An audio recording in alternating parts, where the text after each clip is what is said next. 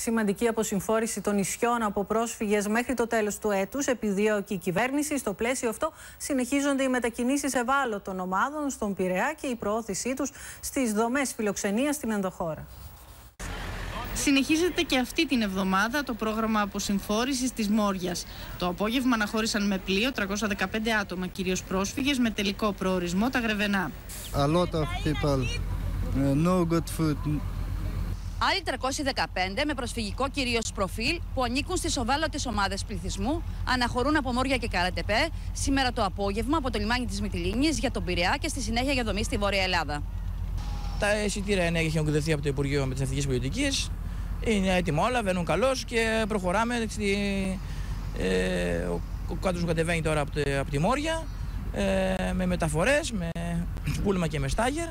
Την ίδια ώρα οι αυξημένες ροές προσφύγων και μεταναστών συνεχίζονται στα νησιά του Βορείου Αιγαίου, καθώς από το Σαββατοκύριακο μέχρι και σήμερα το πρωί αποβιβάστηκαν περισσότεροι από 460 στη Λέσβο και 135 στη Σάμο. Συνολικά έγιναν 291 διασώσεις από σκάφη του λιμενικού. Έχουν ήδη μετακινηθεί περίπου 7.500.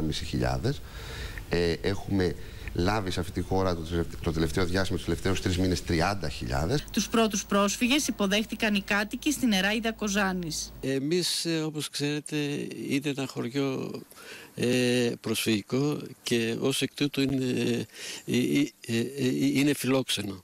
43 πρόσφυγες συνολικά, κυρίως οικογένειες, θα φιλοξενηθούν στο συγκεκριμένο ξενοδοχείο στην Εράιδα Κοζάνης. Οι πρόσφυγες ξεκίνησαν το ταξίδι τους από τυχείο και φτάνουν σταδιακά στην Εράιδα Κοζάνης. Επίκαιρη ερώτηση κατέθεσε η πρόεδρος του Κινάλφα, ο Φιγεννηματά, ζητώντας στοιχεία από τον Πρωθυπουργό για το χρονοδιάγραμμα και τη χρηματοδότηση του σχεδίου της κυβέρνησης για τους πρόσφυγες και μετανάστες.